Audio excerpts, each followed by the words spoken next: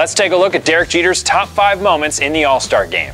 At number five, it was July 7th, 1998. Derek Jeter appeared in his first All Star game at Coors Field. He enters the game in the bottom of the fifth inning, replacing Alex Rodriguez at shortstop.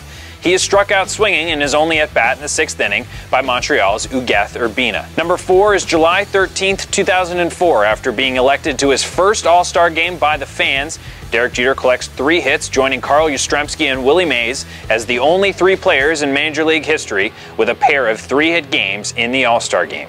Number three, it was July 10th, 2001. Derek Jeter hits his first All Star game home run at Safeco Field after replacing Alex Rodriguez at shortstop in the top of the sixth inning. He led off the bottom of the frame on a 3 0 pitch and took Cubs pitcher and future teammate Jon Lieber deep to give the AL a 3 1 lead.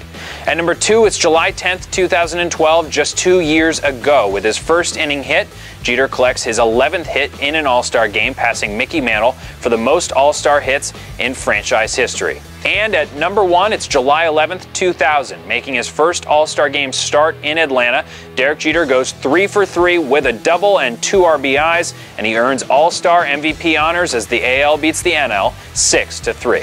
What are some of your favorite Derek Jeter All Star game memories? Let us know in the comments below.